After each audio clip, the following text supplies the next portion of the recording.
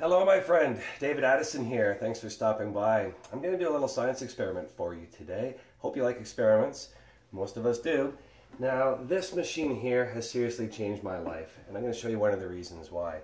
So this Kangen water machine makes seven different types of water, and in today's experiment, we're going to focus on the strong alkaline. It's 11.5 pH.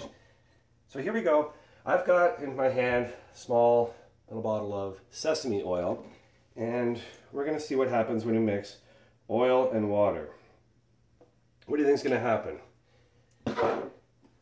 Beautiful tap water from Vancouver, BC, and the sesame oil. And I'm sure you're probably expecting this. It doesn't mix, totally separates.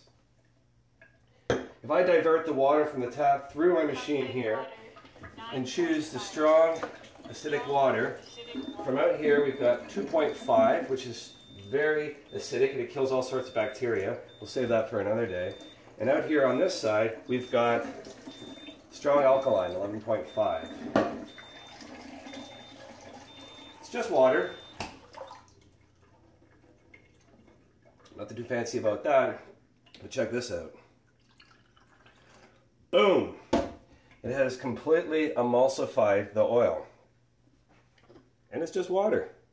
So think of this now in terms of cleaning. What I do is I fill up one of these little guys here and I use it for cleaning all my surfaces. I use it for laundry, cleaning the hood fan. Think of anything with oil and dirt. It's absolutely beautiful.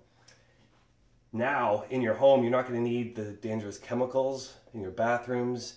Your family is going to love you for this. Okay, so that's just one of the incredible benefits of this beautiful machine. Okay, talk to you soon.